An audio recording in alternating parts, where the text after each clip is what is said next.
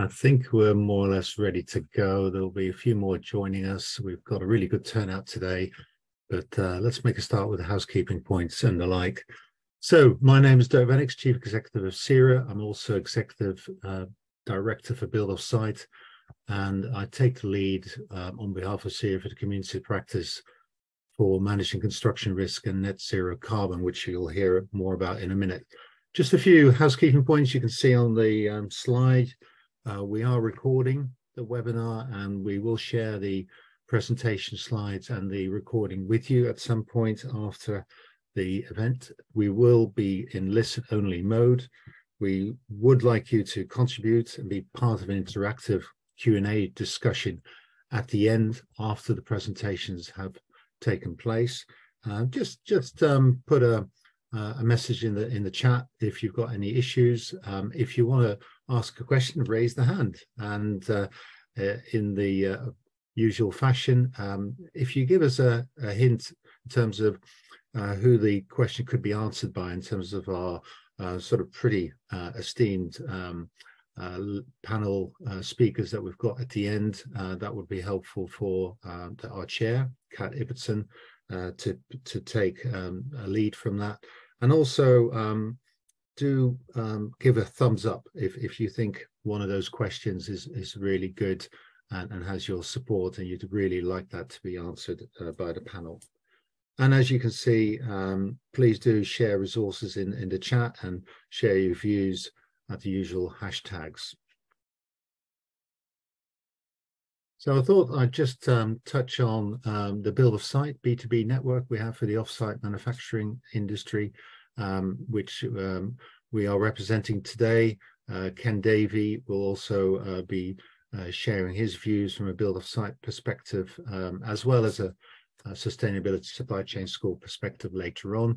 Um, but just to give you the history, we set it up about 20 years ago to bang the drum to promote uh, modern methods of construction.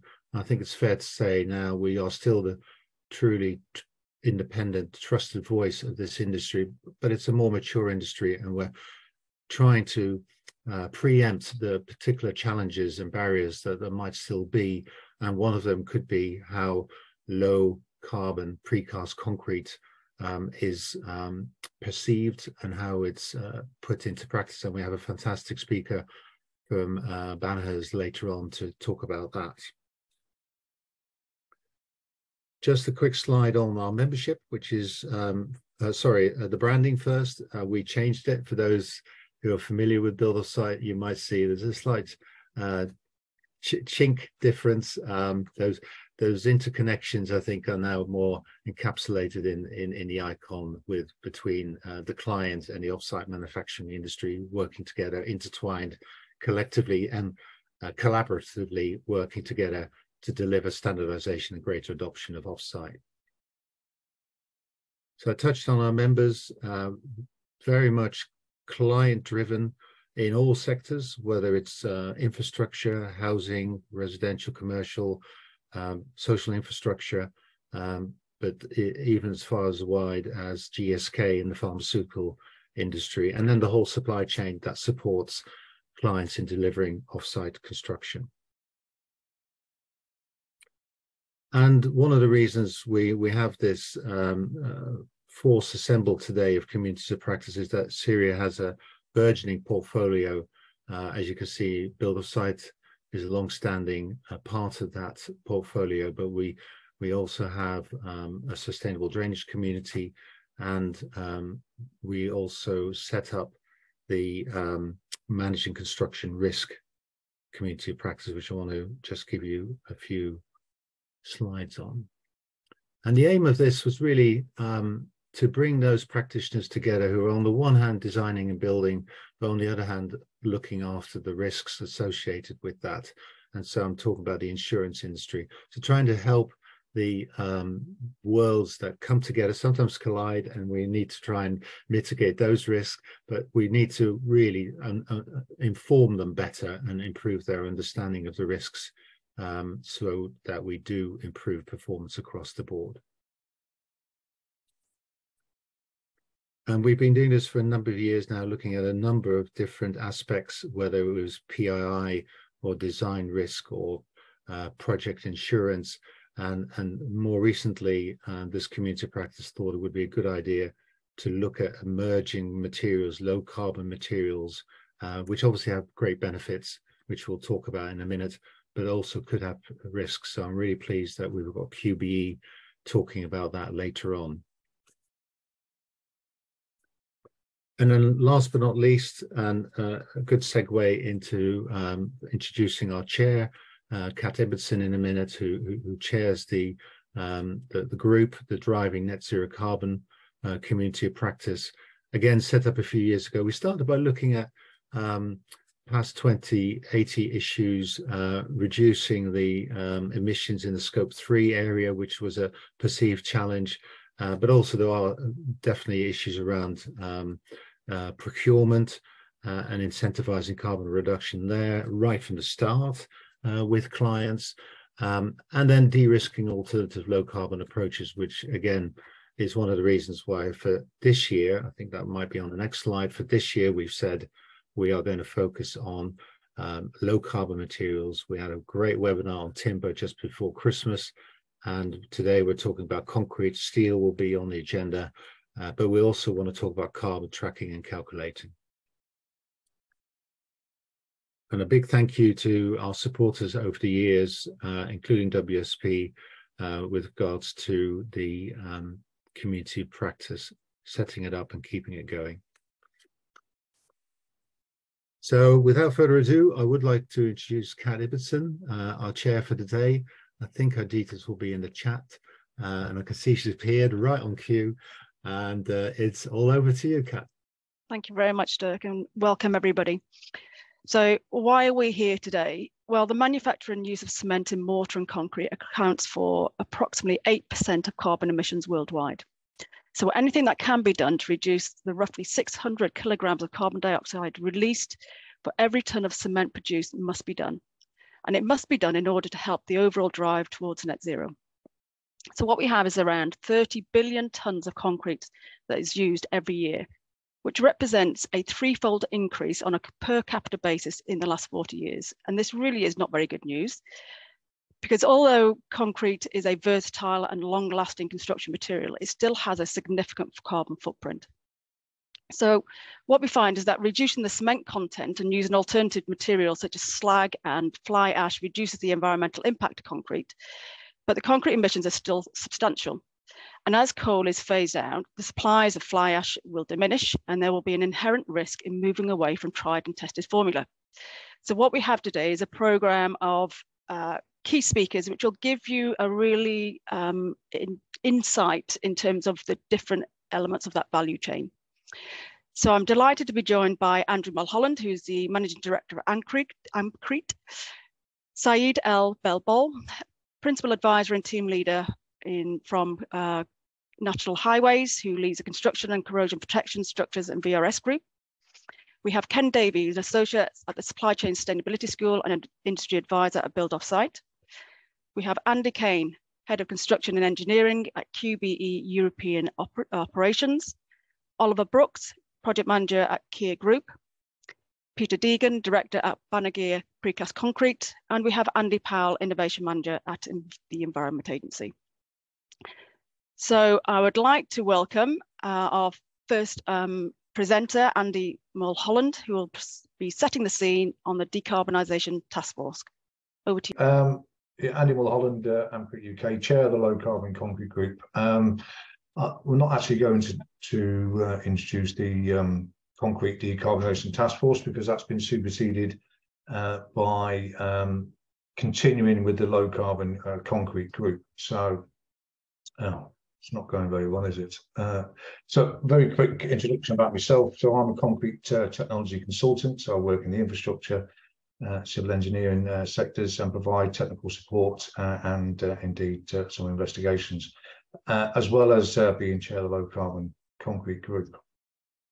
Um, working with uh, the CLC Green Construction Board uh, and consulting to the, uh, the Climate Group and, uh, and Concrete Zero. And as part of my uh, my roles, I've been inherited over the last uh, few years as being chair. I've been fortunate enough to attend the IDDI conference in, in, Vienna to discuss uh, all things uh, low carbon. The Low Carbon Concrete Group itself uh, first established uh, January 2020, and uh, since our first first meeting, gone from strength to strength, and we've um, our, our, member membership or voluntary membership has increased to we have around about 40 to 45 active members. Um, I've highlighted in green some significant uh, uh, membership um, organisations such as the Green Construction Board, Concrete Centre, uh, and, and CIRIA. Uh, so I think it's uh, it's fair to say uh, that the Low Carbon Concrete Group, when it talks, it, it, does talk with a degree of of authority. the LCCG itself um, is endorsed by the CLC uh, the Green Construction Board, ICE and the uh, as well as the uh, MPA Concrete Centre. We launched uh, or published the route map in April 2022, uh, and the focus uh, written in there was the focus must be on enabling a rapid scale up of successful technologies that deliver reductions in carbon emissions but that's not uh, at the expense of safety and doing things right uh, and, so forth. That, that remains paramount with any construction material. Whatever we use, um, it has to be uh, right, suitable, and fit for purpose. Within the route map itself, then uh, there are eight sections uh, ranging from uh, knowledge transfer, design specification, supply and construction, through to optimizing existing technology adopting new technology, and uh, uh, there's a discussion point on carbon sequestration, capture and use, uh, with section eight uh, being the next steps. And there's a significant number of next steps uh, in, that, in that chapter, uh, some of which we are already underway with. So we have work stream one, which was originally the, the CDT, the Concrete Decarbonisation Task Force. however, on review and reflection, uh, it was agreed that um, the LCCG was um, widely recognised and therefore it should remain uh, as the driver behind this initiative. Uh, but the LCCG um, is formed up three three separate groups. Uh, so you've got the LCCG, LCCG group itself, uh, which is actively working on the route map and uh, its work streams. The LCC operations group, um, which uh, deals with the programming, communications, coordinating, uh, tracking, and feeding into the ICE governance, and then the LCC stakeholder group for interested parties, those who can be drawn upon for work streams and comms group and, and increase the size of the LCCG. So the CDT is no longer um, a, a, mainstay. It, it is back to uh, things as we know it.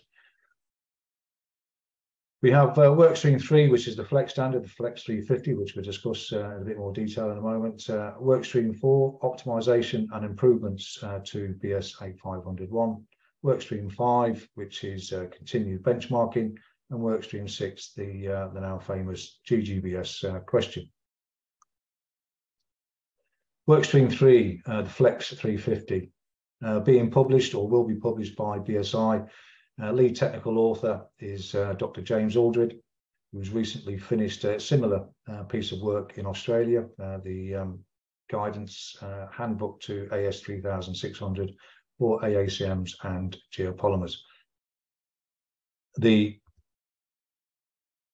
Flex 350 uh, is made up of lead technical author James Aldred, an advisory group of, of representatives of those companies on the left-hand side, with constant communications uh, with key existing uh, key committees. The Flex 350 then, uh, it is a flex standard uh, and we believe that um, the work should be completed within the next two years to produce a performance-based uh, standard rather than a traditional, um, maybe even perceived to be prescriptive uh, standard for the for the use or, of engineers, specifiers, uh, and everybody else within the construction industry to allow the specification of cement chemistry, concrete technology that may well sit outside the existing um, framework of uh, codes and standards. we're there uh, now at the moment, and we're just about to uh, complete the uh, advisory group review of the drafting documents. And then once that happens, uh, then we get on with the next stage. BS8500 improvements then. So BS8500 is due to be revised by the end of this year, which will include the um, provision for CEM 6 uh, cements. Uh, the other uh, improvement for BS8 500 is the ongoing review of uh, the minimum cement contents in, in relation to uh, durabilities. Uh, so far as to say, if we can reduce the minimum cement contents by say 10%, and we would reduce our carbon intensity per mix design um, significantly just with the stroke of a pen. So that work is uh, being undertaken by Gareth Wake, MPA, uh, and others, uh, with uh, updates periodically uh, throughout the year. The EN1975 cements are not currently in BS8 501, but we do expect them to be showing appearance by the end of the year. So the question I raised to uh, insurance companies um, a couple of months ago was if a cement type is not provided in the current revisions of 8500, is it excluded from insurance cover? Uh, the answer overwhelmingly from the uh, insurance company was uh, yes. And then can a structure built with a concrete from the EN1975 cement be provided with a warranty? And the answer was we would probably need to look at it. So there's a degree of um, disconnection between the insurance companies and standards and codes and what they understand to be uh, relevant and, and what isn't or may not be. Bit of work there. So benchmarking then, one of the outcomes of the LCCG uh, route map uh, was benchmarking our concretes in relation to, to the strength class. So the starting point in trying to assess the carbon intensity of any concrete is to measure the reductions in carbon relative to a reference value. So we can determine from that reference point whether we are improving or not. The, the benchmark itself uh, is designed to be dynamic, i.e. it will move year on year uh, as more data becomes available. Uh, the benchmarking shows what is currently available on the open market and uh, it, it um, categorizes into bands A++ to G. At the moment, the benchmark uh, represents concrete strength grade C810 to C5060. However, the next iteration uh, increases that by another two or three strength classes.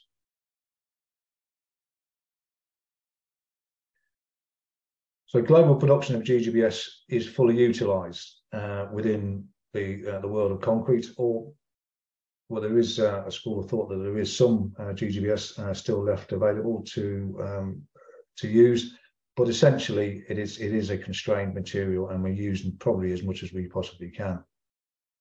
Specifying GGBS is, is the go-to solution for lowering carbon uh, within our concretes, but not necessarily the right solution for all uh, uh, for all environments. So we have to be careful of when we're using uh, constrained resources in relation to what it is we're trying to build within our projects.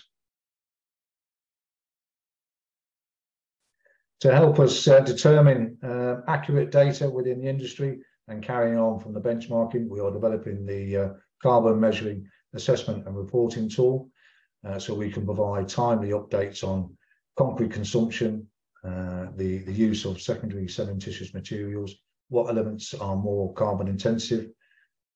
We'll be able to report against uh, regions, so what regions are doing well, what regions require uh, particular focus or even uh, investment, and a significant uh, contribution towards quality checking uh, in, um, in regards to the, the concrete we're using, uh, which will be a, um, a, fundamental area for insurance companies to focus on if we're going to be using lower carbon technologies. So we can record the data uh, very accurately and keep everyone else informed. So that's going to be developed uh, and be released in the next two to three months. So workstream six, uh, which was the GGBS question, uh, it's still in its final draft stage. Uh, in the next, I think, four to six weeks, uh, the final uh, document will be ready for, for release. So a number of authors have come together from, from the industry and explored the, um, the question about GGBS and should we use more? Should we start restricting the use of GGBS? how much GGBS is available here in the UK uh, and globally. Uh, fundamentally, uh, the um, the work started off under the under the premise of the increased use of slag in the UK is only going to increase global greenhouse gas emissions. However, um, through all the work and research and discussions uh, uh, between the authors and others, uh, the conclusions are that we should continue to use uh, GGBS where it is technically um, required, but not just for lowering the carbon intensity of our concretes. And then work stream 11. So this is a new work stream uh, that's about to come online and will be a collaboration between the uh, insurance sector and the construction industry to help educate, uh, transfer knowledge, and provide an equitable platform for the consideration of new lower carbon concretes or new cement technologies uh, in use on our projects. There is a bit of a disconnect between what the insurance sector believes uh, uh, to be um, able to be specified and have uh, warranties provided to what actually is in return to in relation to the construction industry itself. So there's a degree of um, education and collaboration uh, required. So there's a lot of risk involved or perception of risk involved for new technologies. So we need to be careful what we're doing and we need to be assured that uh, whatever it is that we're specifying, existing technologies as well as new technologies is suitable and fit for purpose. So there's pre-construction, there's during construction uh, uh, mitigation measures, which we need to ensure that uh, everyone's aware of and is documented and recorded as well as verification. And there are some who are even calling for the old-fashioned clerk of works to come back into play to provide the sign-off that things are good to go. So the the draft scoping document is being written by uh, ICE uh, and should be sent out to those who uh, have, are going to be part of the working group. Uh, CIRIA uh, and uh, Andy Moores is is leading on that for for CIRIA So meeting the net zero challenge then, well, there's stuff that we can do today because the existing codes and standards do not specifically to refer to a concrete having to be made to cements conforming to EN 1971. So there's a degree of confusion uh, that exists uh, in regards to the perception uh, or, or, the use of existing standards. We have new cements coming online uh, very shortly, uh, such as uh, CEM 6 And as a demonstration, uh, BS8 500 uh, lists 20, uh, 27 uh, cement types, but only 17 of those are, are carried forward into uh, BS8 500. EN 1971 is a performance standard, not a prescriptive uh, standard. and with these cements, certain benefits accrue to enhance durability. Principally, the less PC we use, the better the concrete in general terms. So uh, there's a share of the typical, well, a typical share of um, uh, cement types for a contractor today. But with the introduction of CEM 6 cements, we get a reallocation of, uh, of materials and we get and we end up with a reduction in uh, carbon intensities, potentially.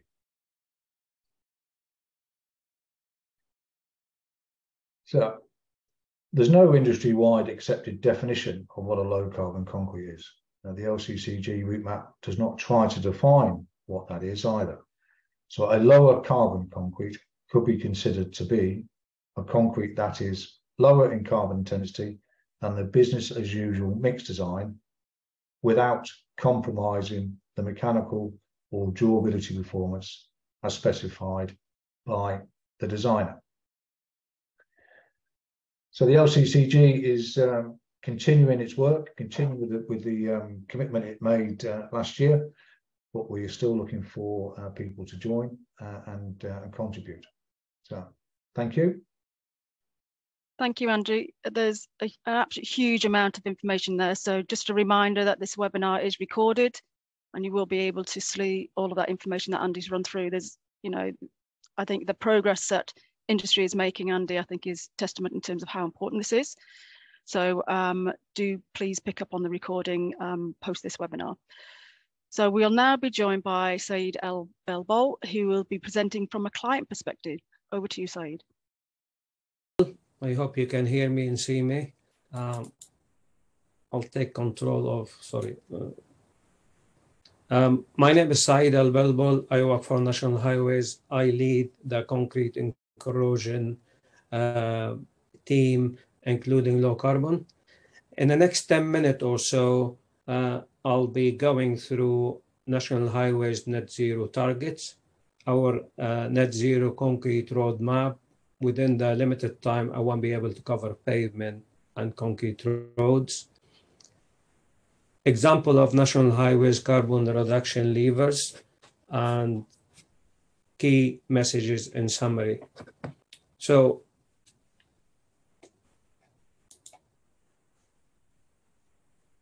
So we published our net zero highways plan in 2021, committed to realizing net zero emission from our construction and maintenance activity by 2040. This is really from the inception, uh, what we need to do, how we do it, what we do it with, and at the end, thinking of design and other aspects, and including demolition or recycling. We have commitment to reduce our maintenance and construction emissions by at least 90% by 2040 compared to our baseline of 2020. This is a huge target quite an ambitious one.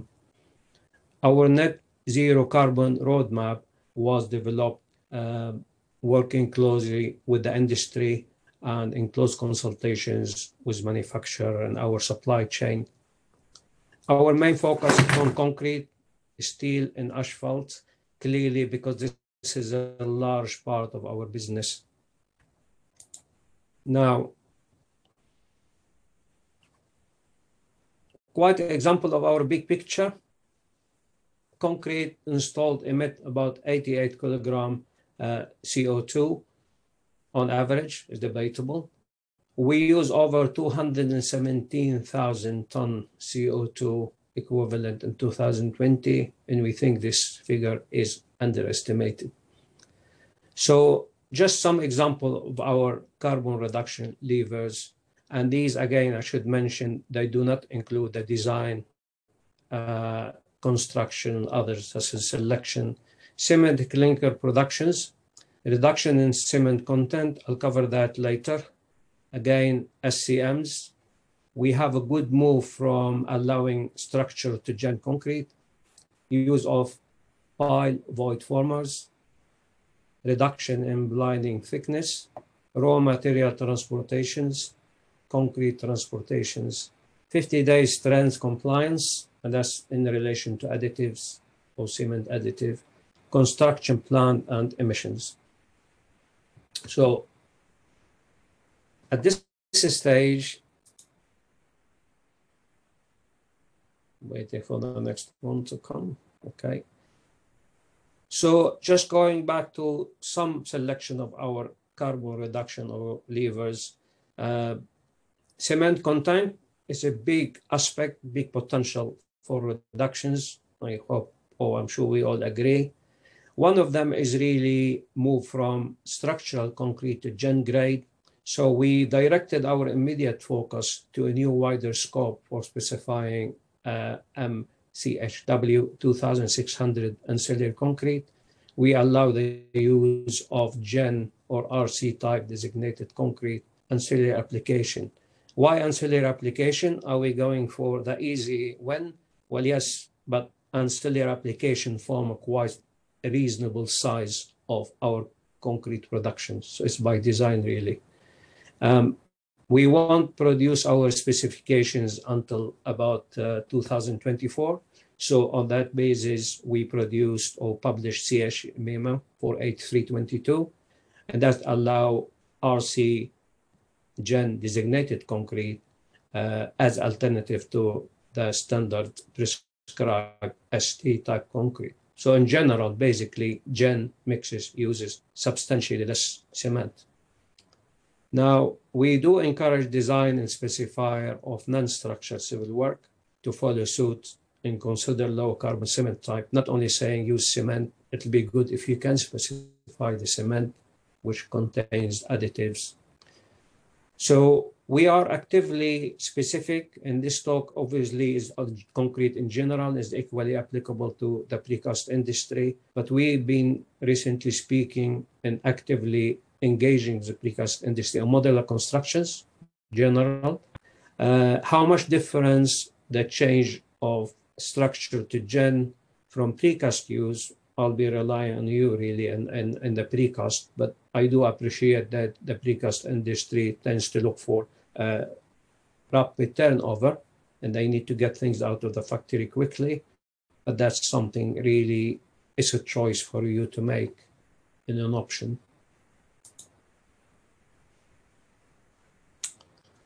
Now, as a big one, I think for us, for everyone, is a reduction in clinker production emissions. Uh, hydrogen powered furnaces, we clearly don't have influence on that except indirect influence. So we can encourage and work closely when they manufacture in that respect. Increased use of limestone cement and ternary blend, as uh, Andy mentioned earlier. We, the new BS 8500 will incorporate the changes. Uh, we are actively on the steering committee uh, inputting to this. The other one is 56 day compressive strength is a high GGBS, obviously, and uh, this, this element is, is quite an important one. Uh, we do appreciate is application specific and it's not only related to GGBS, it's, it's for additive in general, but when you don't have strict requirement for 28 days compressive strength, uh, then that can be an option for you. And it's application specific. So there's something for you to consider in general again. We're looking at alternative cement in the medium term. AACM, obviously one of them, secondary fly ash, and there are others as well. So we're proactively looking at this. But this is something that we look at it in maybe as a medium term and once there's sufficient data to support these in that respect. Now the next one is low carbon for structural use. When I say structural use, it's highway structural use, but obviously applicable to others. Uh, as, as asset owner and operator, we have to be extremely careful for using low carbon concrete application. We are open-minded, we are for innovations, but we need to ensure safety. We're having 45 tons running on our bridges and others. We obviously need to make safe, they are safe, and we need to ensure performance, both in terms of uh, structural, but also in terms of uh, durability as well.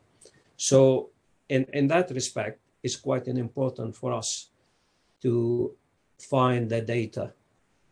Unfortunately, we have a lot of lesson learned, and I don't mean to be critical, but just really as an example, best practice in 1960s was the use of salt as accelerator to set concrete fast.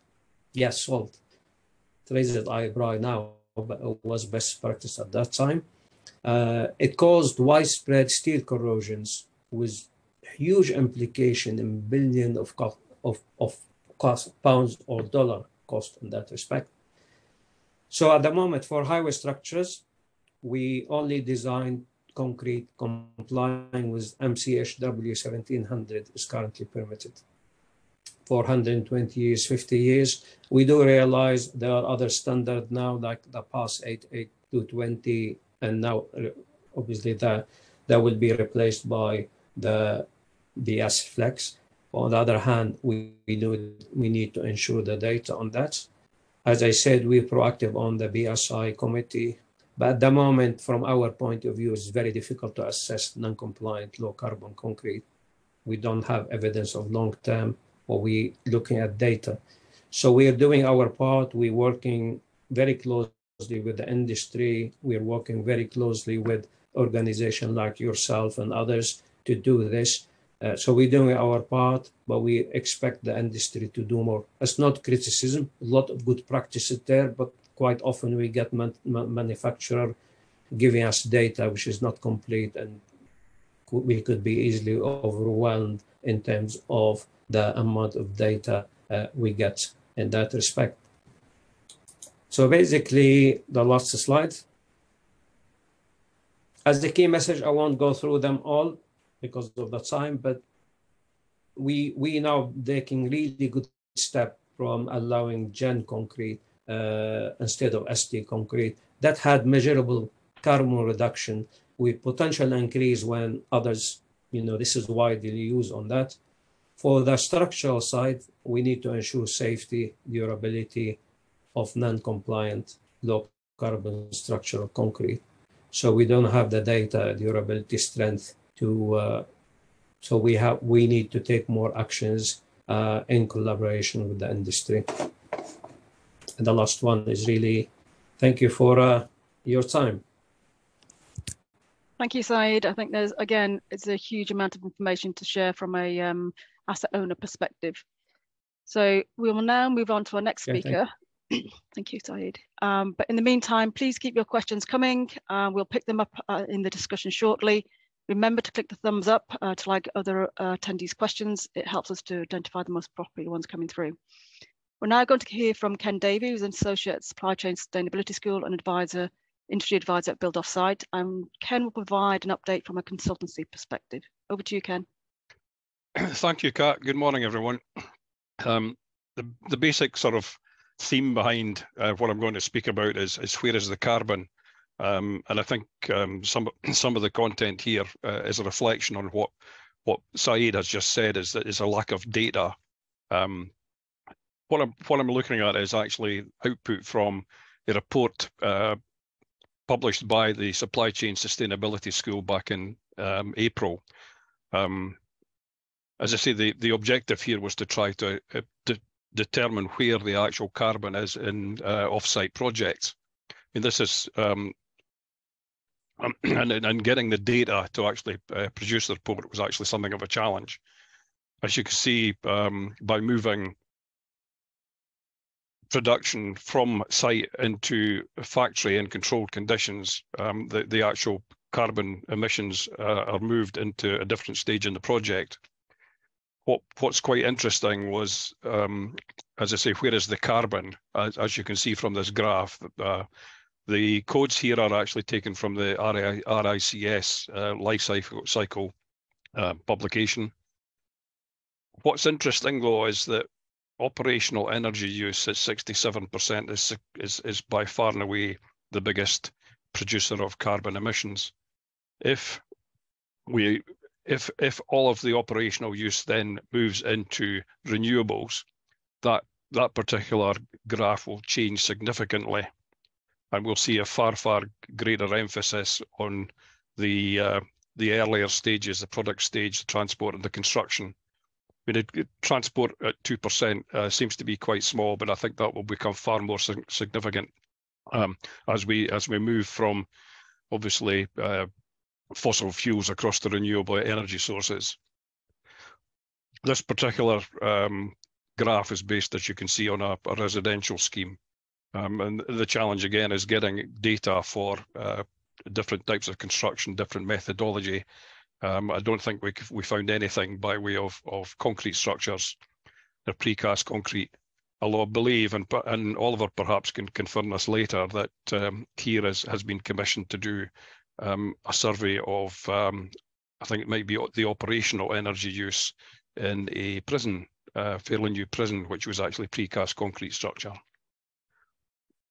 So what we what we see here, obviously, is the, the Green Building Council's uh, uh, proposals for actually reducing uh, carbon. I think um, a couple of things that that I've picked out from this is the building clever. I'm, I'm seeing um, articles now about the use of things like nano silica in concrete. Maybe Andy can comment on this is this later, and also graphene uh, in the concrete mixes. That I think that there's an experiment ongoing in the Netherlands at the moment although there is research going back five or six years in terms of the use of graphene um, and I think uh, as a fibre and, and, means of actually re, uh, reducing the actual cement content. I think the, the figures I read that um, were something like um, 2.4 uh, times stronger uh, and, and, and considerably uh, less cement, less, less obviously in, in the mix. And in building efficiency, that's all about, I think, um, pre precast construction.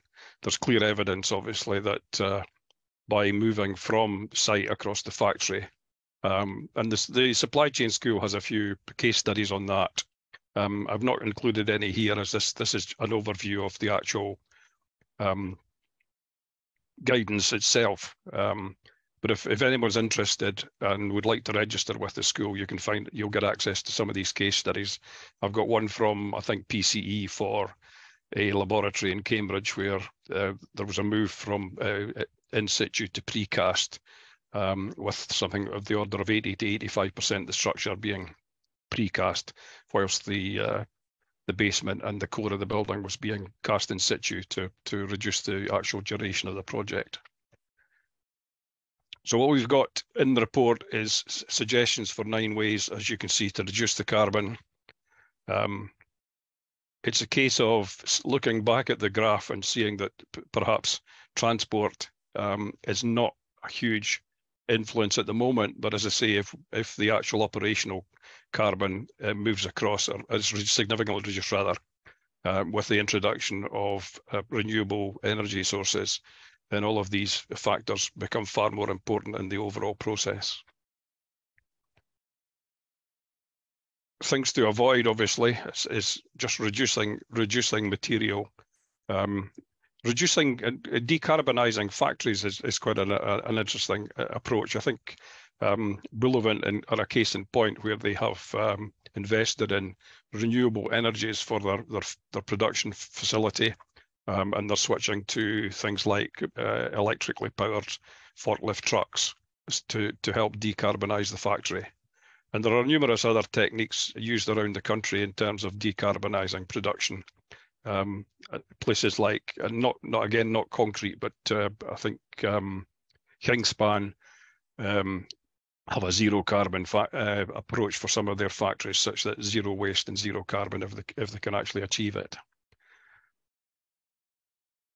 we obviously established in the in the process of the study that was done before the guidance was published that um, there's potential to reduce waste quite significantly by going off-site and uh, and obviously less embodied carbon. The 40% figure here is actually based on an analysis by Cambridge University for a volumetric modular project in Croydon, uh, 10 degrees, which is 40 plus stories high. Um, interestingly, the it's a steel structure, but the floor uh, in the modules is concrete. Um, but uh, the analysis indicated that even with with quite a significant element of concrete, plus also the the um, the core structures for stability, um, the overall uh, figures were 40% less than compared with similar, um, shall we say, traditionally built structures. The report was actually, and the guidance was actually uh, prepared through consultation with the supply chain school members and partners. There's something of the order of about 200 partners at the moment. Um, and through some uh, workshop uh, activity, um, obviously the perceived challenged, uh, challenges were, were assessed and everybody was asked to provide their, their data and their, their input to these. It, uh, I think, again, we're seeing some suggestions here as to how to actually uh, reduce the overall footprint. Um, to paraphrase a well-known um, supermarket, I think it's every little bit can actually help. Main construction stage opportunities uh, shown here. At, uh, the 30% against reduced reduced transport um, is 30% of 2%. But again, I would say that that 30% as we change from fossil fuels to renewables will become a, a far more significant. Perceived challenge actually from a construction point of view again. Um, this gathered from gathered from the, the school partners and incorporated into the report.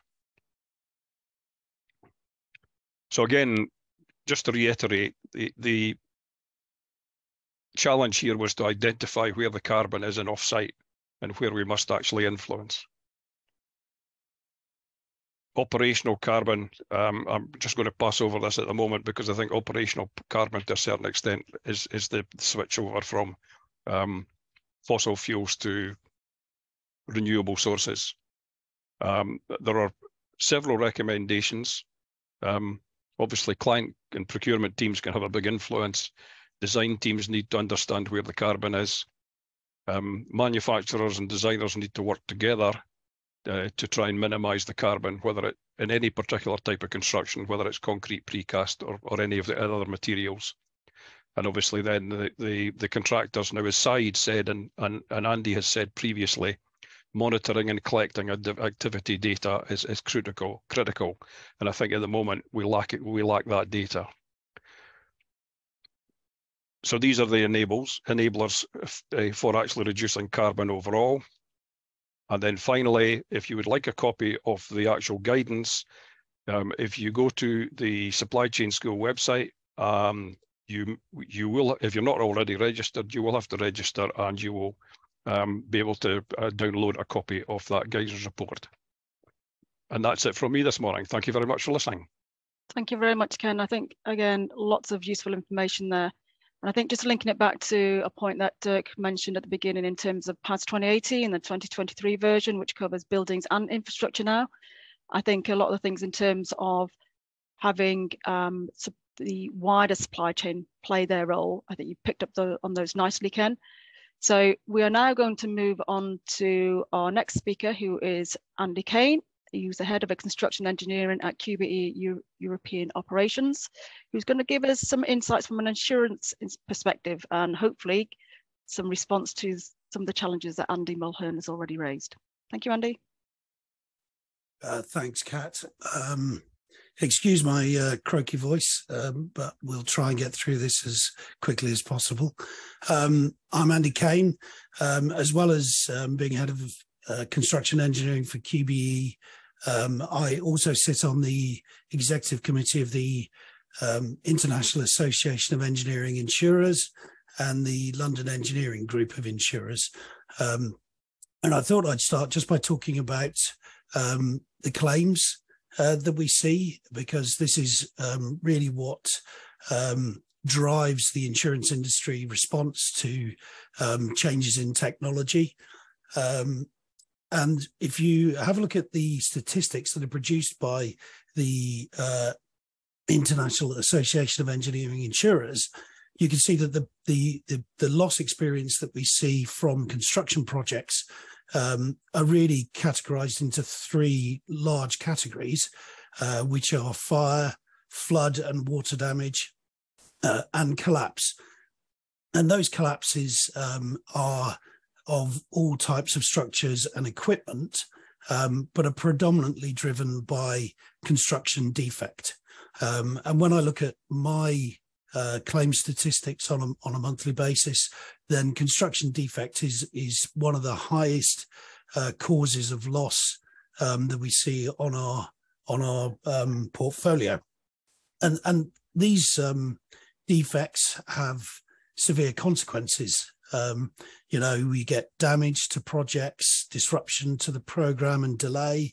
Um, we do see fatalities and, and injuries, um, costs, fines, legal action, uh, loss of reputation and business, and the opportunity cost of your engineers and senior management in putting things right.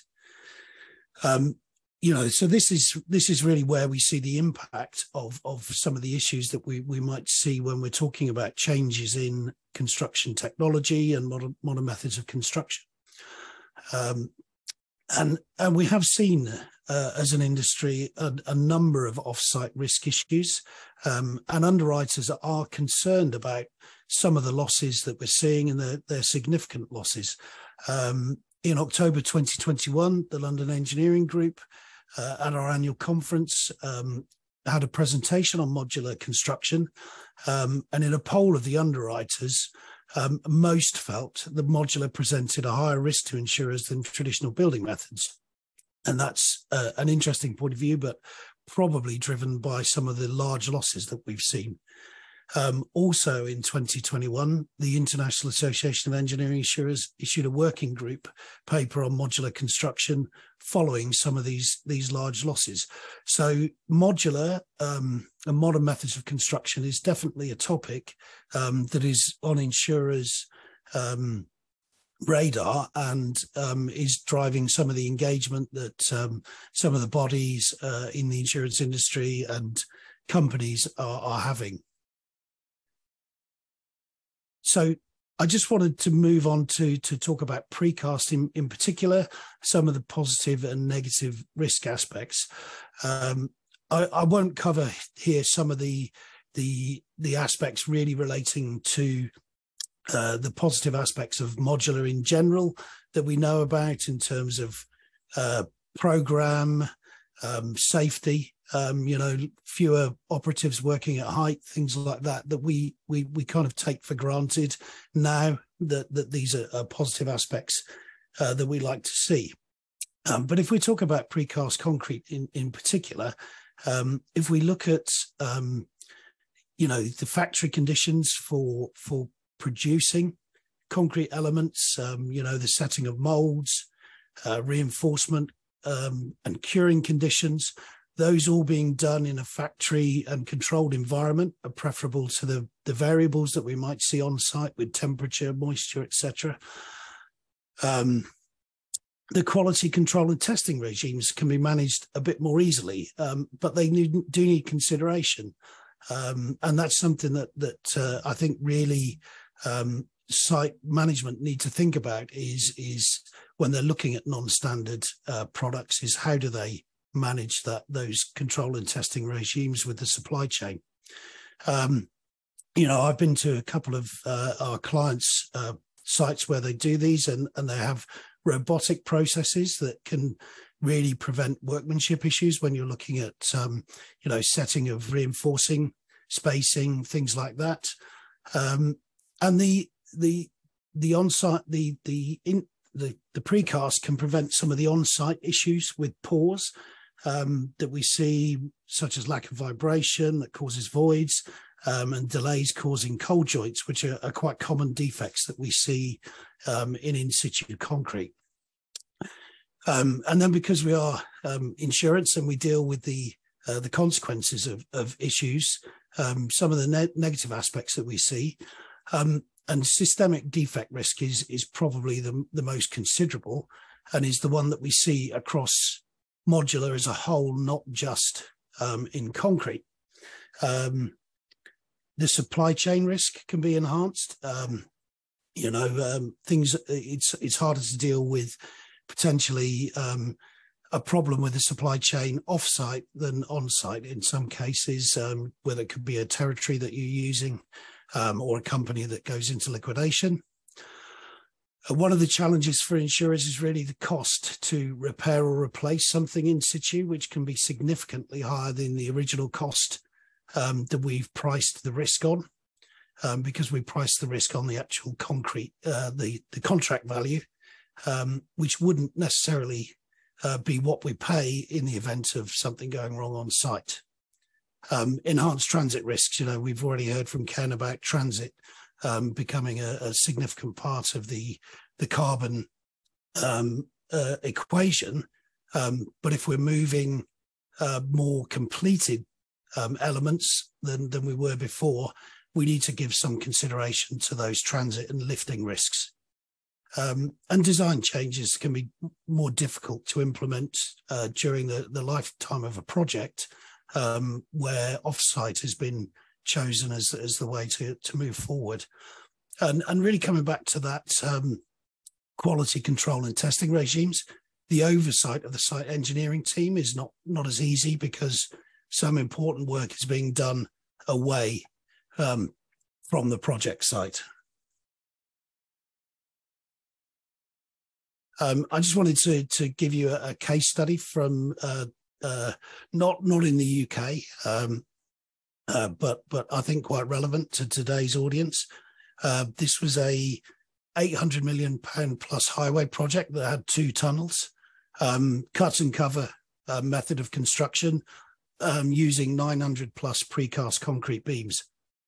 And the supplier of these beams, um, which wasn't native to the country that they were, uh, the project was in, built a plant close to the project to construct the beams.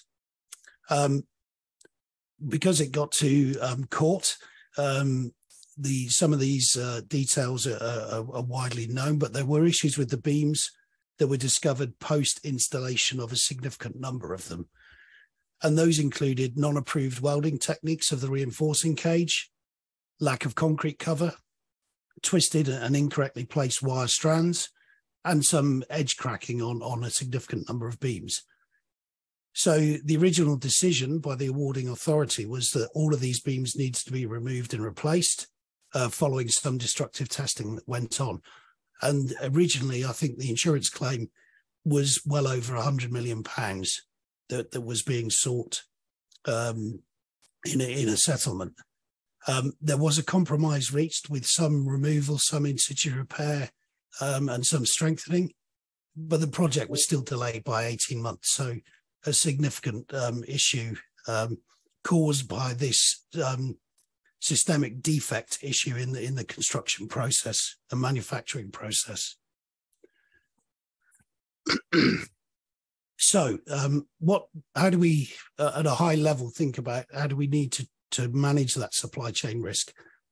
Um, well, the main contractor needs to engage in the quality control process through the supply chain.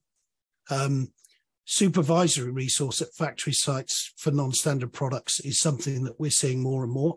And interesting that somebody mentioned the clerk of works role, which we are seeing uh, more often, and that may be uh, a role that needs to have, you know, significant time off the project site at the suppliers. Ensuring suppliers from other countries are familiar with local codes, and and we're talking about development of codes as well um, which is a challenge for the insurance industry. Um, and testing, including destructive testing before installation, is really important. Um, and then something that uh, is is clearly um, not it should be in every project risk um, uh, register is that contingency planning for supply chain failures or um, on-site repair or rectification being needed of um, these elements or changes in design. So I think that is it from me. Thank you. Thank you very much, Andy. So I'd like to now move on to our next speaker, who is Oliver Brooks, who's a project manager at Kier Group. And Oliver will be providing um, an overview from a con contractor's perspective and specifically the tagging work that's done with Her Majesty's Prison Millsike. Over to you, Oliver. Thanks, Kat. Um, good morning, everyone. Um, so this, this will be a little bit different from some of the other sessions. So there's, there's a lot of ideas that are going to come at you here. Um, so as, as Kat introduced me, I'm Oliver Brooks, um, project manager for Kier, uh, mainly working on HMP Millsike in Yorkshire. Um, my role is to manage the offsite manufactured packages associated with the uh, structural precast components. Um, my career generally has revolved around the themes of offsite manufacture, um, digital and concrete. So this is what leads me to, to this type of role, working on delivering what is probably the most advanced platform design um, currently in use in this country. Um, for my part in this webinar, I'm going to talk about a new piece of technology that we've uh, implemented to track precast components and look at what benefits we may be able to derive from that in terms of carbon savings. Um, some of you will have been to the Construction Excellence and Build Offsite um, site visit to Millsike last month. Um, just briefly, for those of you who haven't, um, Millsike is a 459 million pound category C resettlement prison, which we're building for the Ministry of Justice. Um, for the prison enthusiasts amongst you, this follows HMP Five Wells at Wellingborough and HMP Fosse Way in Leicester, which are very similar designs. Um, it is a project with an ambitious programme We've been on site for just over a year now. Um, practical completion is planned for quarter three of next year. And because I'm talking mainly about precast, and there's some sort of mainly precast focused numbers on the slide here. The term structural assembly includes some things other than precast. Um, for example, structural steel, um, hollow core planks and delta beams. And the tracked items that I refer to uh, at the bottom there is what I'm going to speak about mainly. Um, I'll tell you what technology we've been using, um, why we're using it, uh, what its impacts are, and its potential for future development of the concept. Okay, so what are we using? Um, component tracking really is essentially monitoring the journey of a precast panel or any um, item really from design through manufacture to delivery to site and handover. Um, a lot of that is performed through use of existing data and mining and extracting information from that. For example, when a drawing is approved on our electronic document management system, that particular unit will reach that key stage in its production. Um, and I'll talk a little bit more about those key stages in a second. The stages that are concerned with the unit being completed, um, and probably the most important, i.e., when it's ready for payment um, at certain stages, um, are leaving the precast yard, arriving on site, and being installed. And they are monitored with tracking hardware that you can see on this slide. Um, so the system that we've got comprises uh, what we know as tags and gateways. Uh, the tags uh, that you can see by the mobile device on the, on the slide, and like I have here, hopefully that shows, yeah, there we are, um, are battery powered and work on Bluetooth technology. They emit a signal continuously uh, that the gateways, so the box-like things um, where I've got a captioned unit leaves yard and unit arrives on site, those, those boxes pick up that, that signal. Um, and the gateways are placed at entry and exit locations to the manufacturer's yards and the site itself to basically inform when the precast unit has, has reached those locations. Um, we've procured this system from an Australian company called Wynomia. Uh, PCE had worked with them before using the technology, and they're working for us um, at Millsike. Um, so there's some familiarity in our supply chain there. And Mace uh, had also used the system in the UK um, it's also deployed in Singapore and other countries across the world as well um, on other projects. Um, Wynomia's strength really is, is in monitoring supply chains, um, and, that's what we're employing it for. So I touched on the different stages um, that we looked to monitor uh, just a second ago, and this is the stages that we look to monitor in full. Um, the table on the right shows each stage and then next to it, the source of the data, which informs us that a particular stage has been reached. A really important point to make here is that the tags and hardware um, only make up the yellow squares. There's only four of them on there. The majority of the tracking exercise is actually done through use of existing data on our project systems. For example, the electronic document management system or quality management system you see as Dalux there. Um, just completeness, there is another picture there illustrating the size of a tag, so they're not very big. Um, having said that, that, that cup is is quite large, um, so maybe not the best illustrator of scale, but there we are. Um, okay, so why why are we tracking units? Why what's the point in it? Um, the reasons for us investing in this technology are many, and there are a few listed here. Um, I'll talk about carbon footprint directly in a second, but there is an implied carbon footprint reduction in some of the other points here. So, for example, greater certainty allows us to build in less redundancy um, in terms of logistics and program, particularly, um, and therefore be more efficient on site. Supporting the digital transformation strategy also gives rise to reduction of carbon footprint in the long term because more automation is possible through greater collection of more accurate data. Um, automated decisions could then be made on when loads are sent to site or, um, or when loads are sent based on uh, site or weather conditions. Uh, this is commonplace in other industries. For example, um, if this weekend's weather forecast is sunny, your local supermarket will be getting a greater stock of sausages and charcoal via automatic forecasting of demand with minimal human input required. Um, in the same way, in construction, we could make better and perhaps even automated decisions with technology based on data that we collect on our projects. And um, this is where we could begin to see um, uh, AI uh, type concepts um, creep into our practices. Referring to the Technicolor prison house block you see on the right hand side of this slide, um, the, the tracking system, the Wynomia system, gives us a real time ish view of uh, progress on our structures.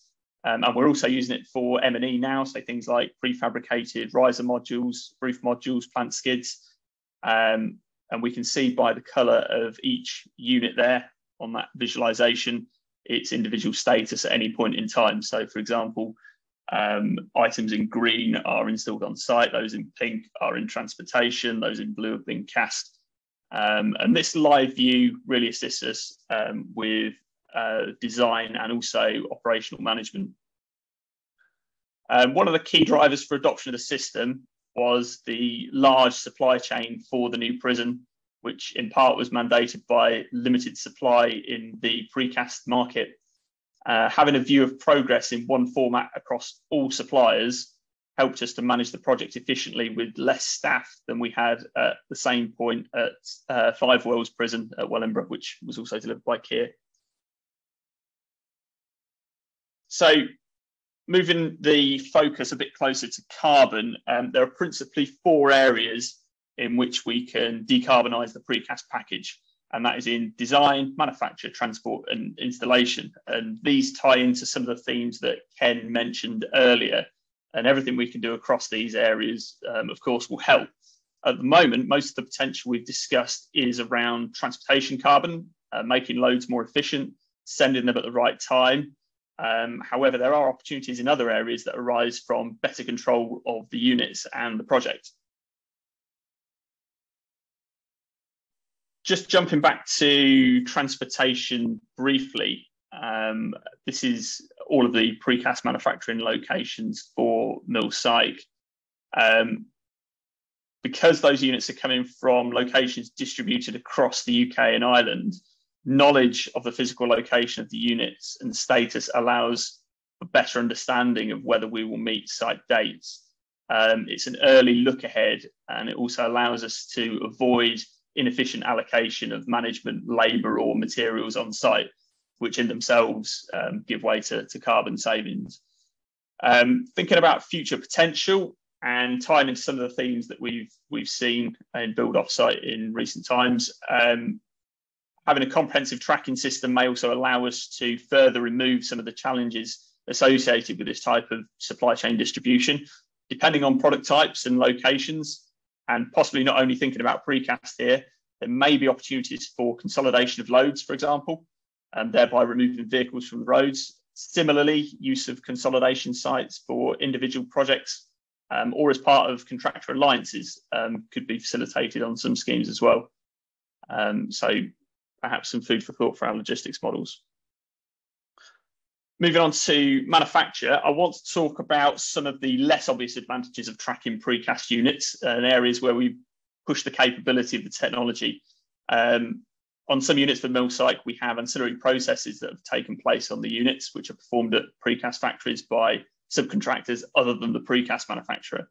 Um, examples of this include um, balustrade fitment to stair units, um, installation mastic around windows, and underfloor heating mat testing.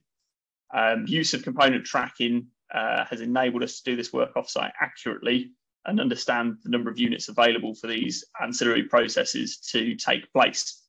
Um, so what this has done is it's, it's really enabled those offsite processes. It's enabled us to do more things offsite and cut down the uh, the travel and the carbon emissions expended by doing work on site. Um, another potential area of impact and one that we've made use of on Millsike is the uh, reduction in QA regimes. So greater confidence in recording statuses of uh, units gives us greater confidence, and we've, we've, probably saved between 100 and 200 tons of um, CO2 equivalents on Millsike alone just because of that. Um, very briefly, future opportunities. Um, and this is uh, bringing it firmly back to concrete. Um, if we increase the capability of tags, and there are items on the market that are close to doing this at the moment, there is a possibility that we could remotely monitor the strength gain of precast panels uh, using embodied um, thermocouples. Um, most of you on this call will know that one of the biggest carbon challenges with the precast industry is that concrete mix design strengths, um, in order to be able to demold early, require um, high compressive strength mixes um, and therefore high cement content. Um, if we had a more accurate and instantaneous picture of strength gain, it might be that we could look at reducing the specified strengths, which could then lead to a further reduction in the embodied carbon. Uh, this is not something that we're currently doing um, or is something that's been done on a, a, large scale elsewhere, but this technique has been used in the past on uh, in situ works, particularly in infrastructure, um, and could be one for the future really for um, remote sensing and, uh, and data collection. So um, without further ado, that concludes my section on component tracking. And thank you for listening to that. I'll take any questions after the conclusion of the next piece, which is from uh, Peter Deegan of Banaghers. Um, so thanks for listening. Thank you, Oliver. I think uh, some great insight in terms of the benefits of technology and how this can improve transparency of data and evidence as it goes through in terms of delivery. So thank you for that. Uh, as you say, we will now be moving on to uh, Peter Deegan, who's a director at Banagher Precast Concrete, and also Kieran Ennis who's, Ennis, who's also the sustainability manager. So they will be providing insights from a manufacturer and supplier's perspective. Over to you, Peter and Kieran.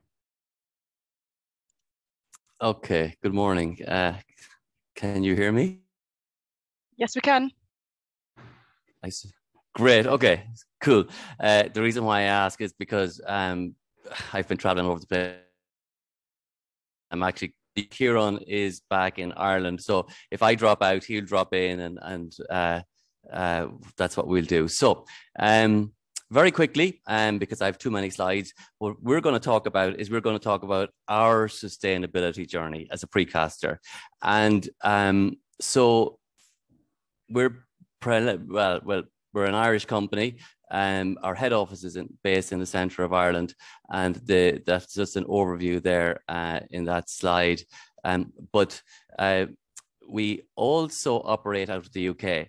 So as I said, these first few slides are just a quick overview. You can have a quick look. It's a pretty large company. Uh, we've about 50 acres in Ireland. We've over 70 cranes.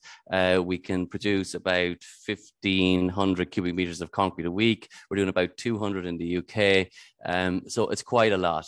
Now, the reason why we came to the UK is, is like it's part of our carbon journey insofar as that we wanted to get closer to our customer. Um, the in some respects, concrete gets a bad name from a carbon point of view. But I would always say that you know it's not the big offender really. It's the fact that we use so much and we move it so far. And uh, coming to the UK was a conscious decision to get closer and reduce our transport movements. In the, the theme of this program this morning, I suppose, is talk a little bit about precast, and this is just a little overview. Um, so precast, we would say if you go down that road, there's up to a 30% saving. Um, there's on the program 60% in manpower. Uh, we use the latest technology. Uh, we've got uh, quality control standards pretty tight on site. We're monitoring. We've got experience. We've got strong teams. Generally, we try to get it right first time. Um, these are the benefits really at looking at uh, a precast option.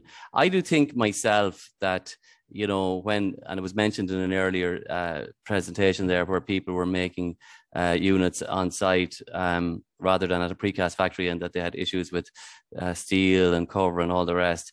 That always worries me because the big advantage of, of going to a, a, a an established precaster is that you've got experience and uh, it's, it's, it's, it's impossible to put a value on experience.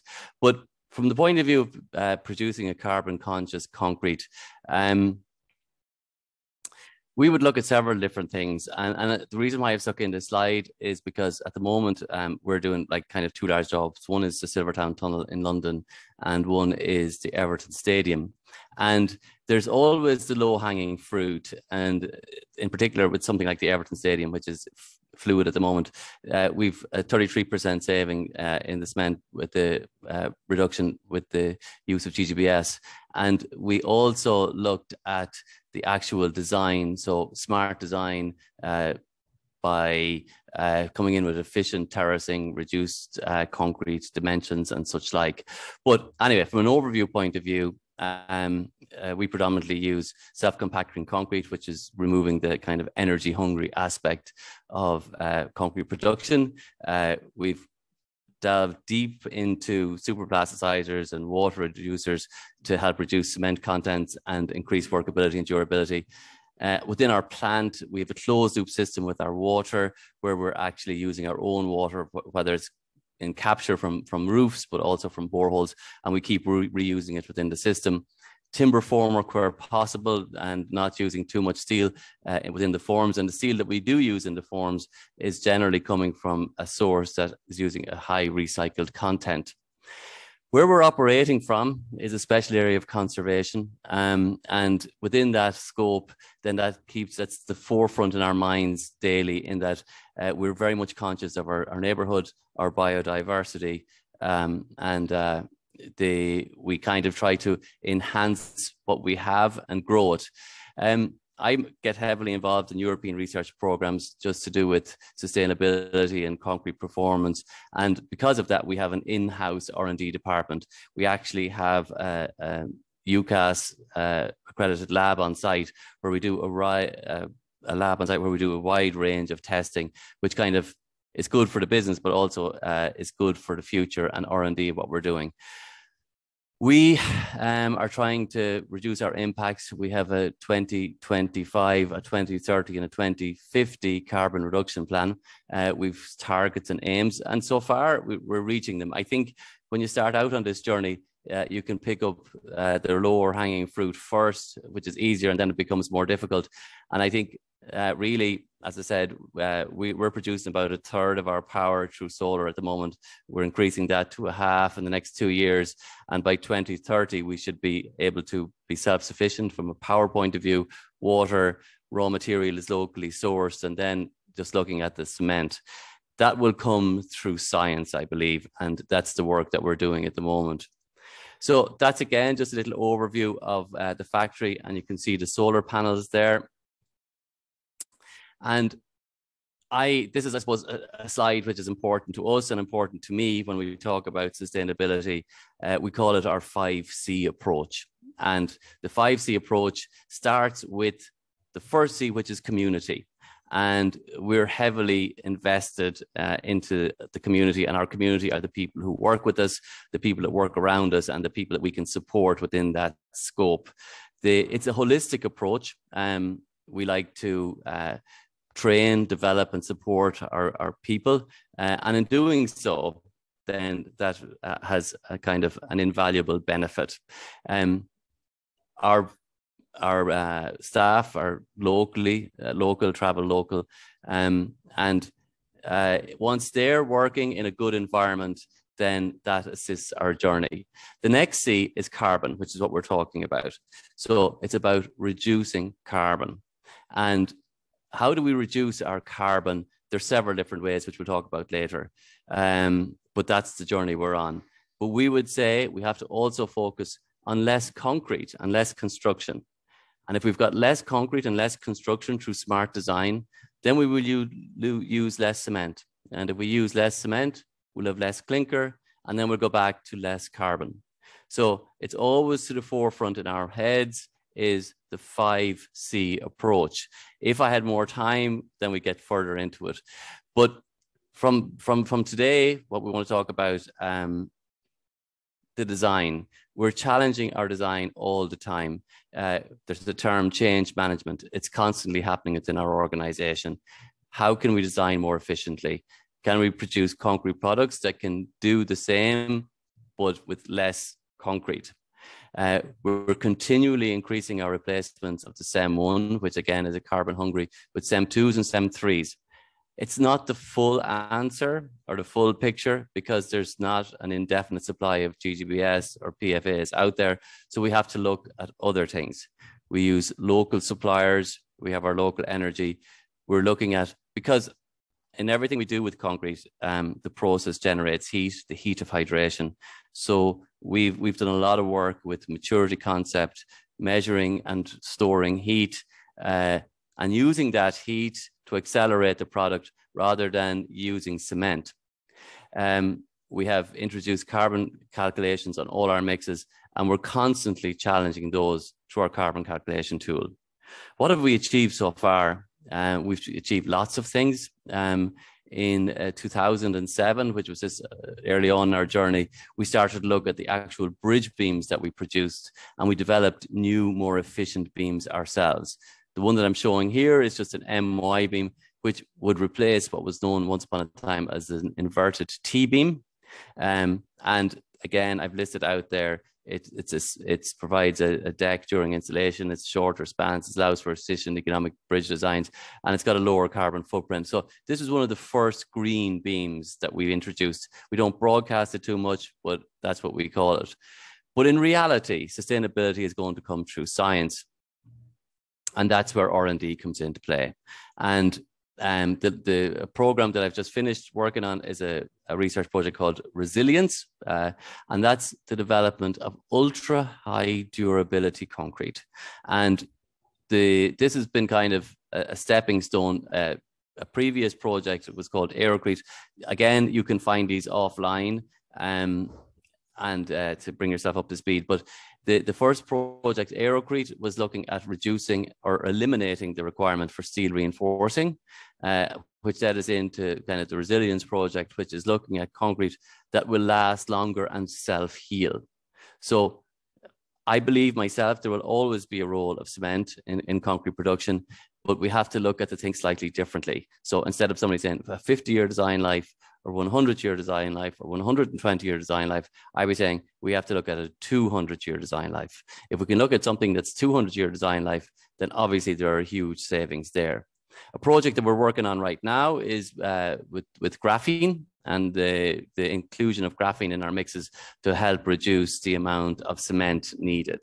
Uh, so far, the results are promising. Uh, so we're continuing on that. But again, it, that will need upscaling two steps back, Aerocrete. So it was a European uh, funded project to develop uh, kind of a low energy durable concrete. And so we looked at the inclusion of, of waste materials in the concrete, GGBS and other recycled powders. Uh, and then we replaced uh, the actual reinforcing with a BFRP bar. Uh, we decided that we tried to produce a pre-stressed flooring product, which we did. So uh, we we pre-stressed the basalt fiber bar, produced a slab, which had never done before. We tested it to destruction, which you can see there in the picture. Uh, it looks a little bit like a banana. Um, so massive deflection, but with recovery to demonstrate and to prove that it could be done. In real time, then we replaced steel on a job in Northern Ireland. Uh, so we use basalt fiber uh, on uh, a particular bridge on the deck. Again, I'm conscious of the time. You can follow up on that. But the ReSHEALience project, I think, is a really good project because it's looking at technology and it's looking at design life. Um, right now, we've got several living labs, which is actually monitoring the behavior and the durability of this uh, concrete. And uh, that's one particular living lab we have on the west coast of Ireland, um, which uh, is giving us real time information about the corrosion there. This is our lab where we're looking at chloride migration and other testing, UKAS accredited. Um, and with this, the testing and with our sensor technology, we're just monitoring on an ongoing basis. Looking at the chloride migration, um, we're able to predict what's going to happen uh, with the concrete. We're looking at water cement ratios. We're looking at additions, and uh, with just this slide here, it's it's it's it's a fairly straightforward test, but it's complicated in ways. Um, it's a little bit like looking at a carbonation uh, scenario where you would take your sample, you would strip it, you would split it, and you'd use a thing called phenolphthalein, and you can then demonstrate the depths of penetration. The chloride migration is something similar. This is a group of us uh, that was on the last project. It's a pan-European project, um, and by working across Europe, then uh, you get great ideas and you're able to work with the best people in the industry. So that's it. Um, Thank you, Peter. Sorry, Kat, I, I could have stayed on all day. Sorry.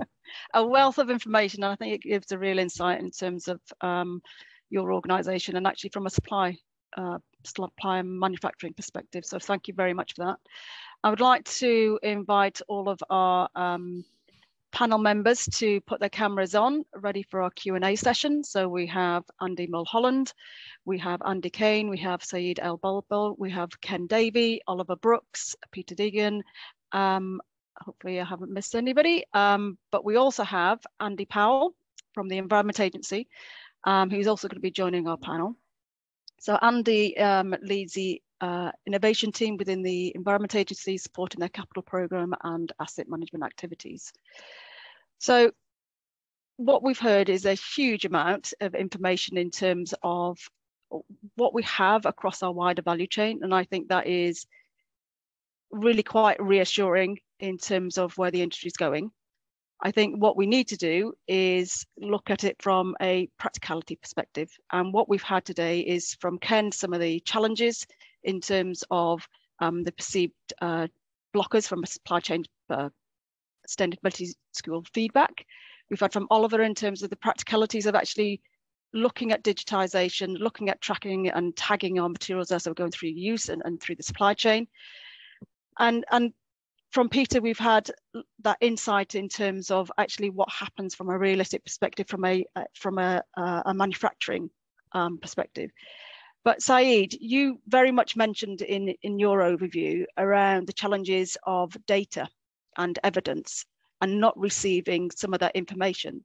Now, what we've actually heard is things are happening, but what are you seeing from a client perspective in terms of what has to improve for us to move forward collectively? Yeah, thanks. That's that's a great question, and I'm glad you asked it. Uh, uh, uh, from from our point of view, we're actively working with the industry. Uh, a lot of people on the call. Obviously, we're talking to them. At the moment, we are mindful. We've got 21, 23,000 structures, and we have a huge project on that. At the moment, the rule of performance, they of testing and the material, the low carbon new ones, they are really covered uh, or they're not covered by official industry accepted standard. You know, and that's that's big. There are some documents which are really good and they they cover at the moment up to 50 years. We design for 120 years. Uh, our our biggest uh, uh possibly uh, challenge, I would say, is that we are approached by manufacturer. We're doing roadshow ourselves, promoting our low carbon uh, concrete map, in general, talking to manufacturer. Our experience, that's not criticism and doesn't apply to everybody, but it's a challenge that we speak to various people. They're doing their own testing, but done in isolations. So they're not they're not talking to other people. So when we say we've done this trial elsewhere, either in the UK or in Europe or internationally, it's not a comprehensive testing. It's not related specifically to particular code. How does it apply to you know the British standard, to European standard? There's a lot of gaps there. And then the other challenge we have that we tend to be overwhelmed with information. We send 500 page in between. We have to extract the chloride data and the carbonation data and long-term performance.